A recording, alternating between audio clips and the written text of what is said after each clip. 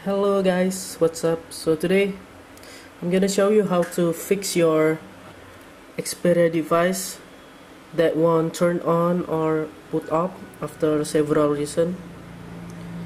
Uh, basically, uh, the problem come the problem happen when you um, flash some zip file or img file and then your phone suddenly turn off and it won't turn on anymore. Uh, so basically that's the reason why your phone is cannot be turned on anymore. So how to fix it? I'm gonna show you how to fix it. All you need all you need is your Xperia device of course. The a USB cable right? USB cable here and a computer a computer and some Sony PC Companion application installed on your computer. So let's get started. So guys now on my computer let's just begin. Open your Sony PC Companion.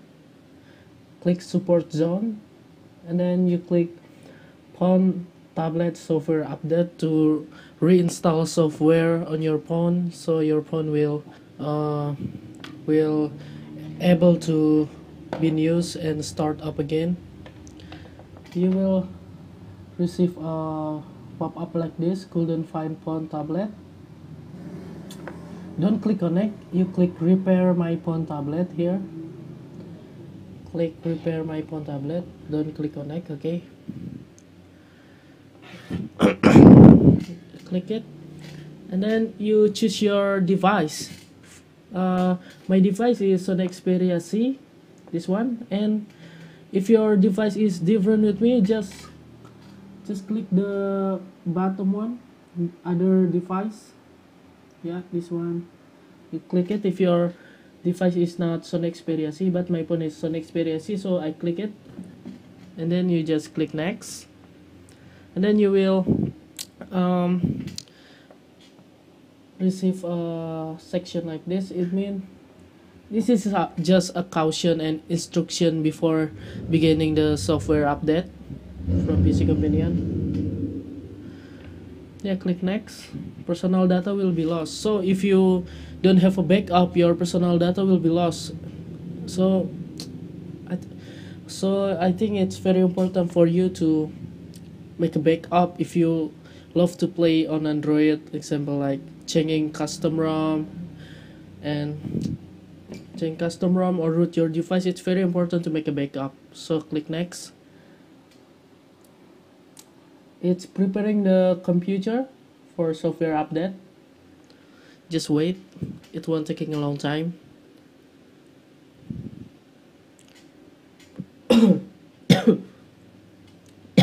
Yeah it's done then you click continue. The software has been downloaded on your computer. Click continue. Okay. You will receive a instruction like this. What should you do before beginning the installation of software? Uh, okay. Okay you click next um, okay click next. And then this uh, you need to following my instruction how to plug in your phone to your computer. Hey guys remember when you want to plug in your USB cable to your phone? Remember you need to press the volume down and connect the USB cable. First you need to press the volume down. Hold it. Hold it until you plug in your USB cable to your phone. Let me show you. Uh, first right now I'm holding the volume down and I connect the USB cable to my phone. Okay wait okay. If the green LED show up on your phone it means the computer detecting your phone and the Sony PC Companion is already detecting your phone right now so you're ready for the next step? So guys have you done my instruction to plug in your computer to your PC I mean your computer to your phone? If you don't um, we're going to the next step.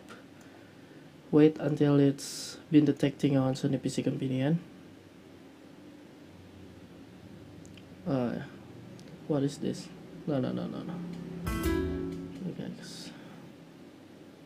okay it's been detecting by PC Companion so it's so your computer is gonna install the software to your phone right now and basically it will take a long time so just wait until it's done. Maybe it taking about sometime it taking about 15 minutes. It depend on your connection speed.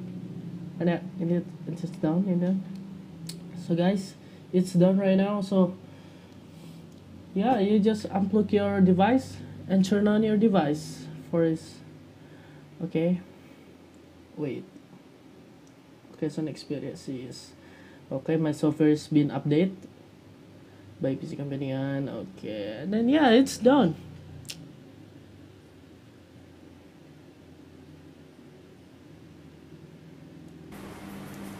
Yo guys so right now we are almost done. So let's see how my phone right now. Let let me unplug it. Okay.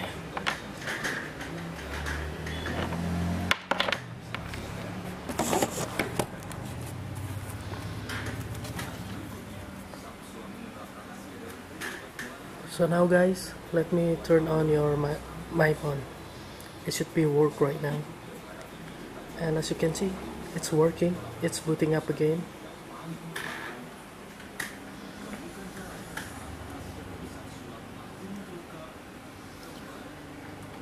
Sometimes when you first boot up your phone it will take a long time. So just wait until it's done. So guys after several minutes my phone is now start my phone is now start up. So let me set up this phone. If you have a backup you just need to restore your backup from recovery menu you don't need to worry if you have a backup okay?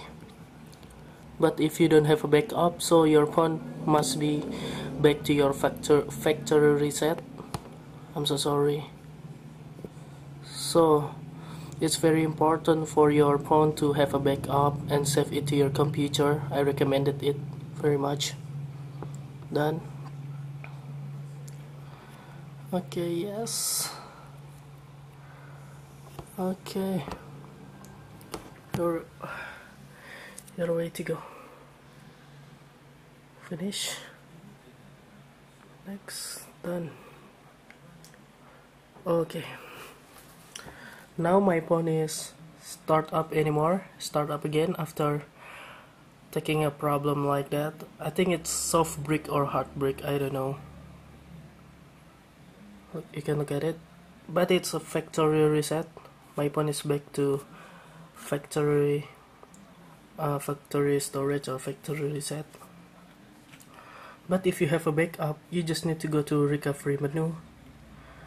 Recovery menu and yeah.